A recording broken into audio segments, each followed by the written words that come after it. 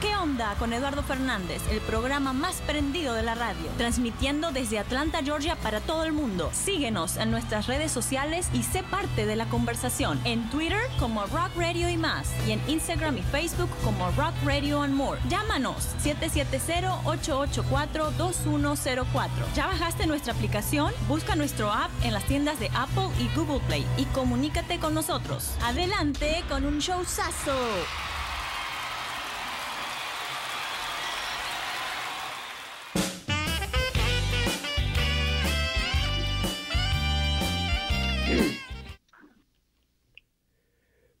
Bien, muy buenas tardes. Esto es ¿Qué onda? Yo soy Eduardo Fernández. Estás escuchando Rock Radio and More, que transmite desde Atlanta, Georgia, para todo el mundo.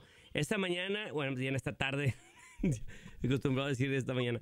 Esta tarde tengo conmigo en el teléfono, vía telefónica, a Pedro Marín, que es House Representative del estado de Georgia, que viene siendo prácticamente pues la Cámara Baja, que, que viene siendo un diputado, y tengo al diputado Juan Carlos Ruiz de Nuevo León. ¿Cómo estás? ¿Cómo estás, Pedro? Primeramente, Pedro.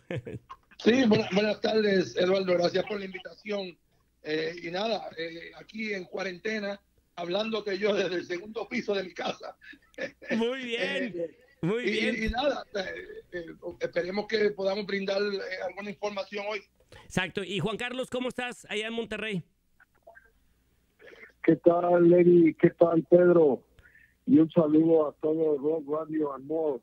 Es un orgullo estar en esta conversación desde Atlanta, Georgia, hasta Monterrey, Nuevo León. Sí, gracias, no, hombre, es, un placer y muchas gracias por darme la oportunidad el otro día de tocarme la guitarra y, y, platicar con tu, con la gente que te sigue. Te quiero felicitar por esta plataforma que tienes de, de social media donde la gente te llama y ahora pues yo también soy me has hecho editor de, de, la, de la página y veo todo lo que la gente te pregunta. Y, y, a veces pues la gente está desesperada y, te, y, y te, o sea, están sobre ti, pero oh, qué bueno que haya, que, que, tengas ese valor de tener esta plataforma y que estés brindando pues entretenimiento en estos días para que la gente entienda que creo, quiero pensar que tú eres de los primeros este, líderes o vamos a decirlo, personas de gobierno que están trabajando fuerte, fuertemente en la campaña de quédate en tu casa que ese es uno de los problemas que estamos viendo aquí. Y Pedro te puede decir desde cuándo lo tomamos muy en serio a nivel gobierno, desde cuándo empezó todo, todo lo de shelter in place y vamos a tomar esto en serio y demás, Pedro. Mira, eh, eh, eh, nosotros estamos sabiendo de, lo que está sucediendo en, en China eh, ya desde el año pasado, en diciembre, entrado ya en enero. Eh, eh, ¿Qué sucede? Que pues, aquí ya en Georgia, pues en Estados Unidos, por ejemplo, yo te diría que ya como para febrero empezó ya entonces a hacer algo serio. Y, desgraciadamente, pues, el gobierno, especialmente el de Georgia, no puso el shelter in place hasta, o la cuarentena, como yo le llamo, hasta eh, prácticamente hoy comenzaba, él la firmó ayer y hoy comenzaba la cuarentena de nosotros. Eh, yo fui de los que salí públicamente hace ya cuatro semanas que pedí eh, una cuarentena total para el Estado. Inclusive hubieron 40 representantes que firmamos una carta al gobernador hace como dos semanas atrás pidiendo que por favor mirara de nuevo y, pusiera entonces la cuarentena del Estado.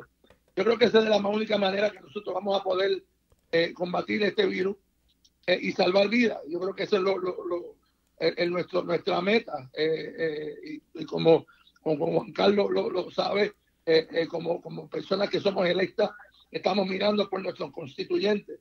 Y eso es lo que queremos, que, que nosotros podamos salvar vidas. ¿Qué, están haciendo en Nuevo León, Juan Carlos Ruiz, diputado de Nuevo León? ¿Qué están haciendo para, para, para, pues, para acabar con, el, con la propagación? ¿O detener? Pues mira, aquí, aquí la verdad es que nos ayudó mucho que somos un estado como Atlanta, donde la, los empresarios, la academia, la universidad, el desarrollo tecnológico nos tiene un poco, un pasito más adelante que cualquier otro estado. Entonces, el tema médico, el tema hospitalario, pero sobre, todo las alertas, eh, ya habíamos, nos habíamos enfrentado en otros tiempos a este tipo de situaciones, como el tema de la H1N1, el, el FAR, y eh, eh, los brotes repentinos que hubo de sarampión, y en este caso eh, veníamos siguiendo desde diciembre la situación que pasaba en, China, en Wuhan, y pues eso nos hizo prepararnos un poco eh, rápidamente. Eh, no tenemos toda la infraestructura que existe en Estados Unidos. Sin embargo, hemos reaccionado y nos hemos venido promoviendo la campaña a nivel estatal de guardarnos en nuestras casas y de tener medidas de limpieza, de no llevarnos las manos a la cara, a la boca, a los ojos, de limpiar los zapatos o dejarlos de plano los zapatos y no entrar con ellos a la casa, porque de esa manera podemos empezar a limpiar el domicilio y fortalecer el cuerpo. Los primeros enfermos de eh, o que manifestaron el coronavirus COVID-19 fueron precisamente gente de Nuevo León que venía del extranjero, ya sea de Italia, de España o, inclusive de Corea o del propio Estados Unidos. Esos fueron los primeros eh, que manifestaron eh, positivos ante la prueba y luego ya se han ido eh, con el tiempo eh, recientemente ya el gobierno estatal declaró que ya hay eh, la adquieren el virus no porque venían del extranjero, sino porque ya se empieza a compartir eh, eh, con los propios habitantes. Sí, que le llaman este, comunitario o algo así, ¿no? ¿Cómo se dice, Pedro, en el cuando ya la comunidad... Infección comunitaria. Sí. O infección local. Exacto. Mm.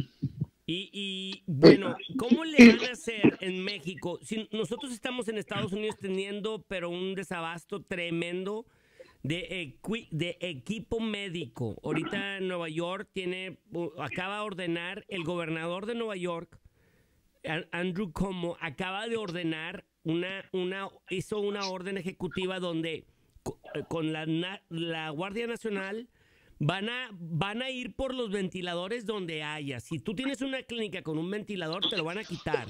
Si no lo necesitas, te lo van a quitar prácticamente. Este, y sí sabías, ¿verdad, Pedro? ¿Supiste? Lo acaban de anunciar ahorita hace 10 minutos o 20 minutos o una hora o algo así.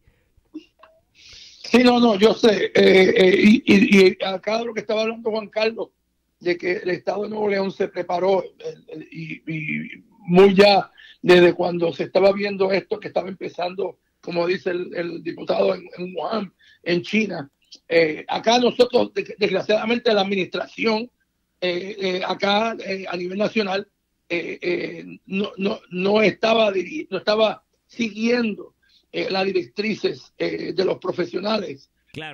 Y, y, básicamente hubieron momentos en que el mensaje que se oía eh, de la administración a nivel nacional eh, de la Casa Blanca era de que esto era una cosa pasajera, de que iba a pasar. Inclusive le echó la culpa a los demócratas eh, de que esto iba a ser un, esto era un, era un plot de los demócratas. Así que, desgraciadamente, al, al, ver esa, esa opinión que tenía la Casa Blanca de, de lo que estaba sucediendo en China, y después en Italia. O sea, Estados Unidos no vino a prepararse bien. Eh, hasta inclusive el presidente salió hace una semana atrás diciendo que para Easter eh, él iba a tener el, el, el, el, país abierto. Sí. ¿Entiendes? Y, y, y, ahí yo entiendo que ha sido nuestra falla, eh, que nosotros no hemos tomado esto en serio desde un principio y hacer una práctica una semana, semana y media, es que de momento se ha, se ha creado otra, otra tensión eh, en cuanto a, los efectos que, puede tener este virus eh, en, la nación americana. Y fíjate, yo lo que quería preguntarle a Juan Carlos eh, desde ahorita, porque tengo entendido que el, Congreso de Nuevo León está en, está, están tratando de, estar en sesión, ¿verdad? o cómo lo están manejando? No, fíjate que por recomendaciones de la Secretaría de Salud del Estado, eh, varios organismos públicos y privados empezaron a suspender actividades. Nosotros suspendimos actividades desde el 17 de marzo, dejamos de sesionar, solamente tuvimos una sesión el día de ayer, relámpago, por así decirlo, con todos los filtros y medidas para evitar contagio, por eh, modificaciones al presupuesto para destinar eh, recursos que ya tenían un destino, se reconvierten para ser destinados a, la atención a la comunidad. Fíjate que quisiera hacer un comentario eh, que, que es importante para poder entender la dimensión del problema. Estados Unidos, para empezar, tiene muchísimo más población que México. El, ingreso per cápita es, pues yo creo, de los más altos del mundo, sino que el más alto. Y luego la actividad, eh, eh, la actividad comercial, la actividad eh, financiera, los negocios, se hacen con todo el mundo. Entonces, el flujo aéreo que tenía Estados Unidos con el resto del mundo no se compara con el flujo aéreo que tenemos en México. Es mucho más bajo, el índice per cápita es más bajo y además el apoyo que tienen las empresas y los negocios por parte del gobierno no se compara en las plataformas de ayuda que tienen Estados Unidos que los que tiene México. Entonces, hoy tenemos nos va llegando el virus poco a poco a todo el país, pero tenemos otro tipo de necesidades. Por ejemplo, se detuvo toda la actividad económica y productiva, todos se refugian en su casa, pero la gran mayoría vive al día, No pueden dejar de trabajar una semana porque dejan de tener ingresos. Entonces, el gobierno del Estado está haciendo un esfuerzo para ayudar a toda la población a que recupere el poder adquisitivo, a que los negocios no se empiecen a cerrar y a quebrar, y también los empresas, la, la, gran, la gran industria está buscando apoyos hacendarios de parte del gobierno federal, porque de lo contrario va a empezar el tronadero en la quiebra de muchas empresas, y eso sí va a provocar un daño a la nación que tardarían años en volverse a reactivar. concuerdo con el diputado.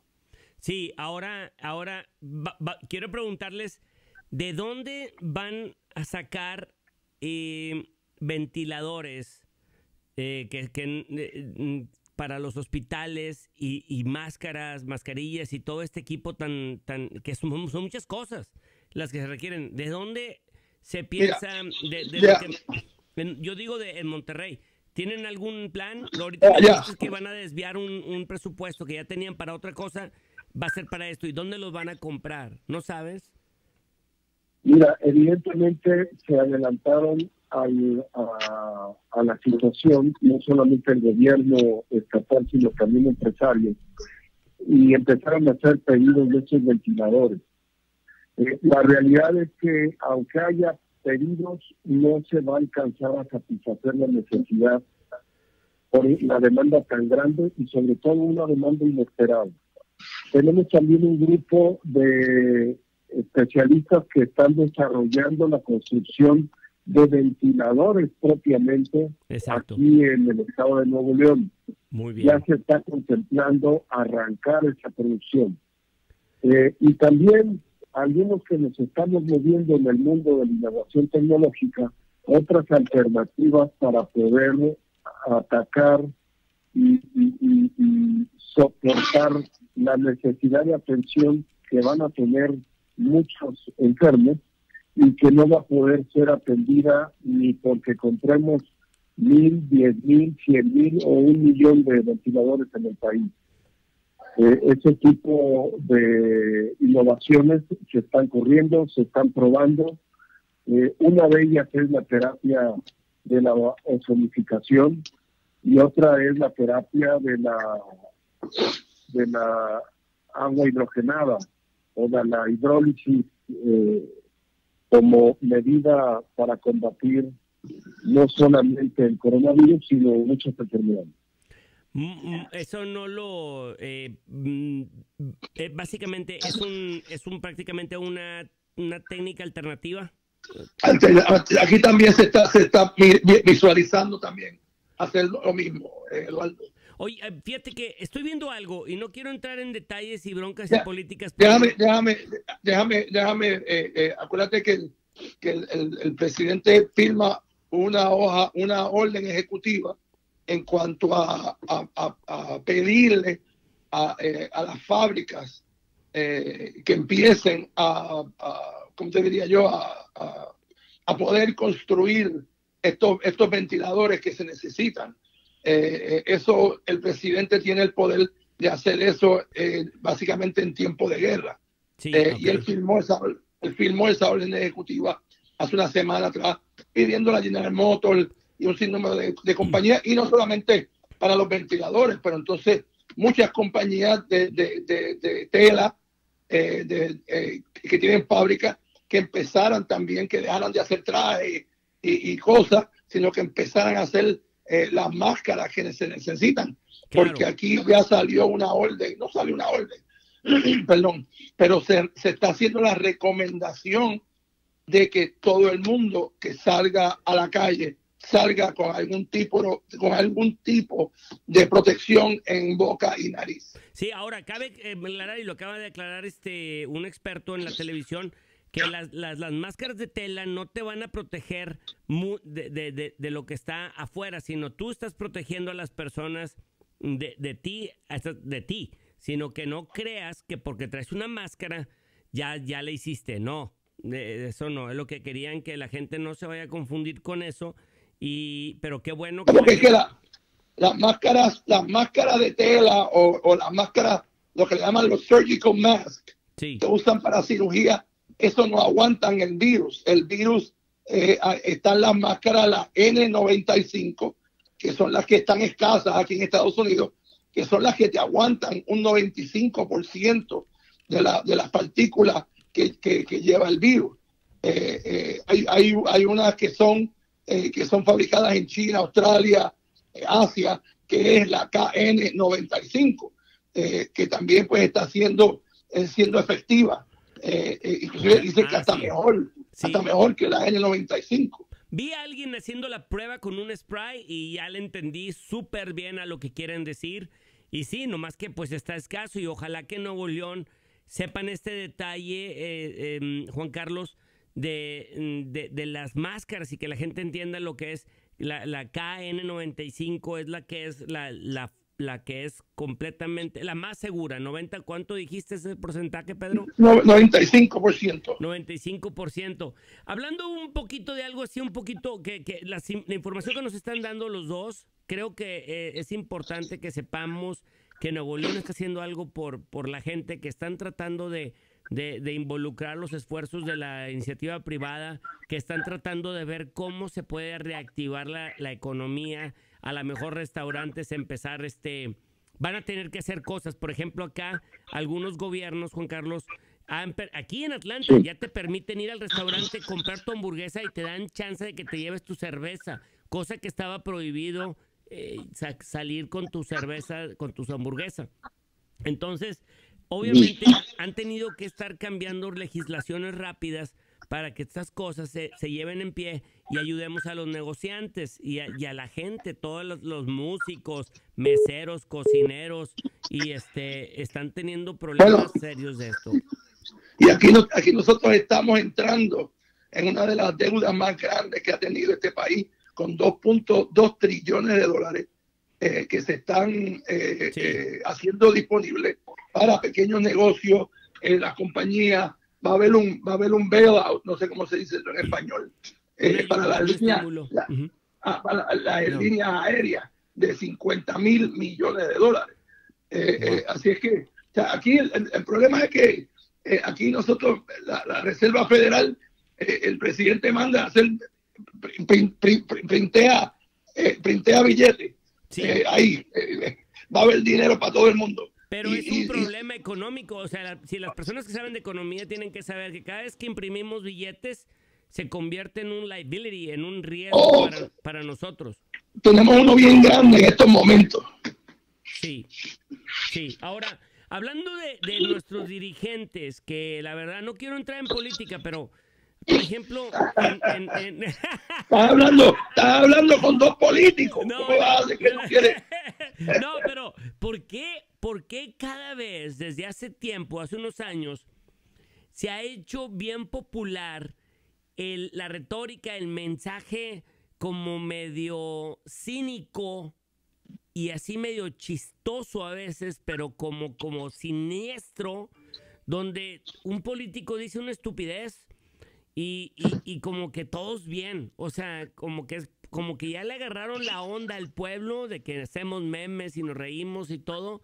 Pero por ejemplo ayer, no quiero, yo te, yo he entrevistado al gobernador Bronco y, pero yo no, yo no sé por qué él dijo que va a haber un shelter in place, pero después dice, pero no va a haber cerveza.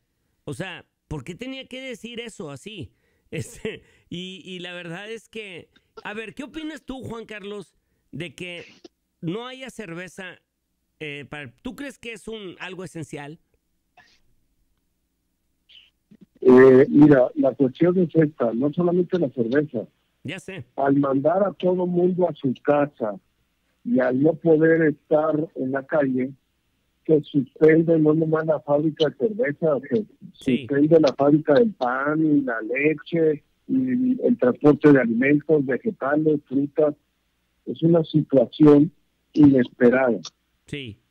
Entonces, ahí la habilidad de los gobernantes, del presidente de la República, será eh, ver de qué manera mantiene los eh, productos básicos para sobrevivir al acceso de todo el mundo que está guardado en su casa.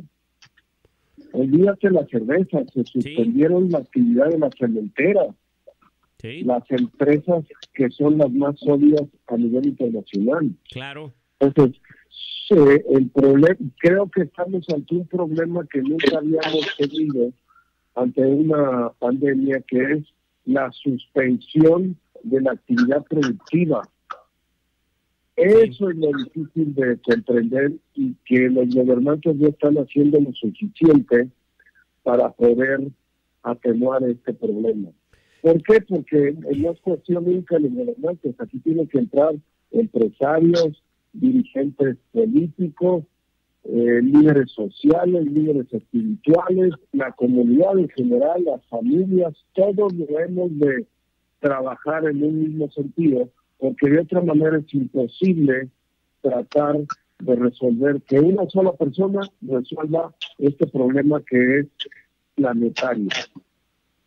Tú, eh, básicamente, bueno, en mi opinión, yo no sé por qué tenía que mencionar eso, crearon una, una venta de pánico de, de cerveza que no es cosa, se me hace una estupidez. Y, y, bueno, pero qué bueno que me dices, tus palabras son, son muy importantes, me da gusto eh, escuchar a una persona que habla serio cuando se tiene que hablar serio. Eh, tienes a la gente muy bien entretenida, les pones de todo tipo de, ambiente en tus redes sociales para que la gente se quede en casa y, comprendes que los líderes no solo son los del gobierno, me encanta, o sea, porque hay líderes espirituales, hay líderes de, oh, todo, ¿verdad, Pedro? bueno, aquí, aquí fíjate, y, una de las cosas que, se ha criticado eh, a nivel estatal es que pues hasta, hasta ayer que el gobernador firma la orden ejecutiva que, que se enacta eh, primordialmente hoy. Eh, mira, eh, un ejemplo, las iglesias, las iglesias no estaban siendo cerradas, no estaban, no estaban practicando la distancia social que están pidiendo a la gente que estén a seis pies de una de cada otra. y hay casos, y, y yo tengo ahora mismo la, la, la, la, presidenta del Partido Demócrata de Winnet, de mi condado, eh, tuvo tres familiares eh, que acaban de fallecer eh, porque fueron a un funeral en, en, Albany, Georgia. Y parece que había alguien allí enfermo y enfermaron alrededor de treinta y pico de personas. Y tres, tres personas de su familia murieron a, falta del, del, virus. Lo que da a entender esto es de que, mira, nosotros tenemos que tomar esto serio. Y como dice el diputado, no solamente nosotros como líderes políticos, pero también crear la conciencia a través como tú lo estás haciendo en estos momentos. Y te, y te, y te felicito, Eduardo, por, por, esta llamada de, hablar con México, hablar con Estados Unidos. Porque de verdad, pues, yo creo que mientras más la gente oiga, más la gente sepa de lo que se tiene que hacer, yo creo que ahí es donde nosotros vamos a, a, a, poder combatir esto. O sea, los números que estamos oyendo eh, de los, de los eh, profesionales eh, del CDC y de otros, es que Estados Unidos va a tener dentro en, entre 100 mil a 240 mil muertos en, esta, en, esta, en esto del virus. ¿Entiendes? O sea, no son números, no son números alentadores. No. ¿Entiendes? Si nosotros somos un país. Cuando es alguien que tú quieres. O sea, muchas personas dicen, ah, jajaja, pero el, Dios quiere que no, nos, que no te pase a ti. O sea, porque... bueno, mira, mira, mira el chiste del representante de Texas, eh, que decía, el congresista eh, a nivel federal de Texas, que decía de que él, él estuviera dispuesto a morir eh, Ese fue para, que la, para que la economía saliera a flote. Sí. ¿Entiendes? O sea, los seniors de, de, sobre 70 años que, que dieran su vida para que esta economía eh, saliera a flote. Mira qué estupidez. Fue el eh, fue el, el, gobernador, ¿no? El gobernador el, ¿cómo le llaman? No, el lieutenant governor de Texas, la pelota, sí. Sí, el, lieutenant governor. El lieutenant government, ¿se le ocurrió decir eso, Juan Carlos Ruiz? Juan Carlos, se, se, le, quedó, se le ocurrió decir, no sé si tú supiste esa noticia, pero el gobernador, el, el que le, es como el vicegobernador. Vicegobernador, sí. Eh, dice, no, este, yo estoy dispuesto a dar mi vida, pero hay que seguir trabajando y, y, ni modo. básicamente, pues que los viejitos podemos sacrificarnos por el país. Óyeme, óyeme. Así que ya tú, ya tú, ya tú visualizas que, que, que, el pánico eh, eh, que esto está creando. No, y, y lo malo es que hace, desde hace, pues a mí me gusta escuchar radio y me gusta escuchar los dos lados de la moneda hace mucho y tengo 20 años escuchando, eh, bueno, ya no tanto porque me la detesto, pero escuchaba la radio conservadora con ciertos, ciertos imbéciles como Rush Limbo y otro, el otro Neil Boards, pero los escuchaba porque había cosas que me interesaban, este, saber qué están diciendo. Y había uno, me acuerdo que ellos hablaban de los viejitos, de la gente grande, de los baby boomers, los hablaban como una carga, que van a ser una carga, van a ser una carga para la sociedad. Tienen diciendo eso desde hace un buen rato. para el Social Security, que no sabemos cómo le vamos a hacer.